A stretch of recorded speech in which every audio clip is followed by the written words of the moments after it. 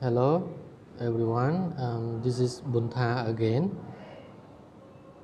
and today I'm going to show you how to install Microsoft Loopback adapter in Windows 10. Before you install, you need to know what is Microsoft Loopback adapter.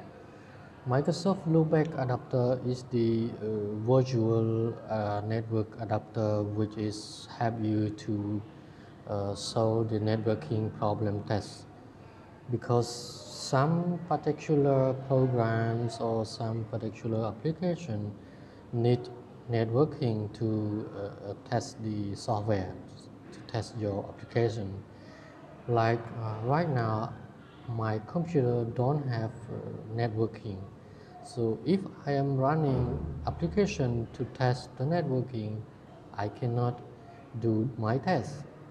So to do uh, the networking test and to solve this problem, we can install Microsoft Loopback adapter. So how to do it? So you go to my computer or uh, open this Windows Explorer right click on this PC and choose manage.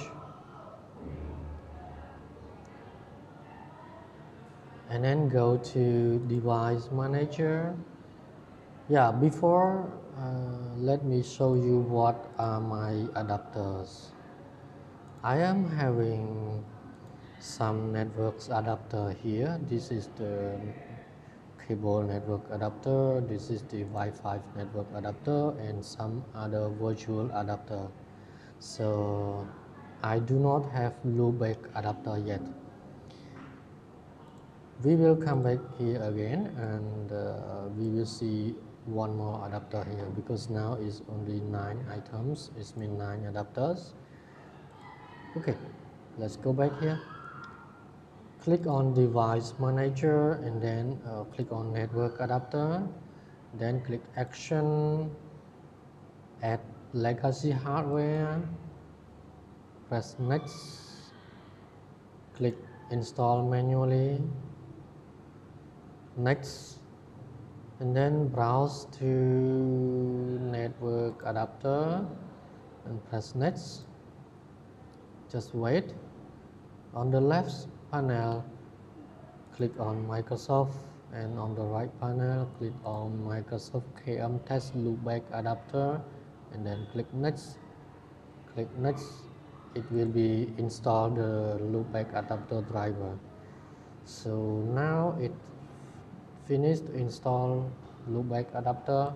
If it finish now you have one more adapter is loopback adapter. So where is the loopback adapter? Here. Loopback adapter. Now it's became 10 items. One more is loopback adapter.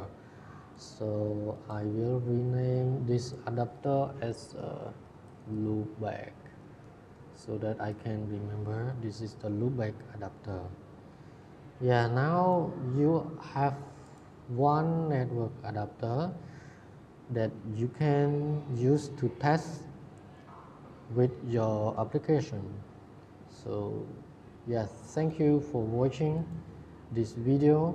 Please to subscribe to get more exercises and more lessons about networking. Thank you